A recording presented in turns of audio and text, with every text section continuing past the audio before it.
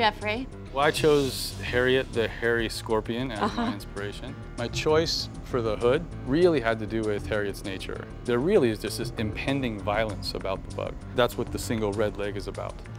I get the executioner hood thing, but I find it to be such a gratuitous kind of slap in the face for a woman to be standing with a martini and not be able to drink the damn thing because she's wearing an executioner's hood, you know. Well, uh, yeah, I also didn't imagine in a million years I was making an outfit for a woman going to a party to No, of course not, of course not. But avant-garde should not be mistaken for unwearable clothes. Absolutely, but they're wearable. Let's see.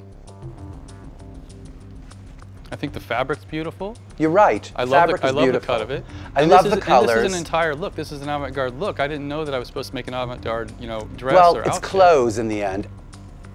It's hard for me to critique that look. Is that mm-hmm. all right? Do I get a pass on this one? I'm sweating. Sorry.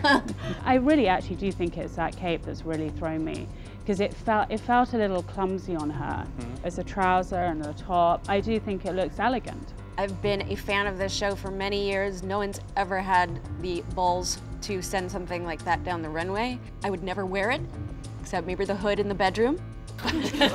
Too much information.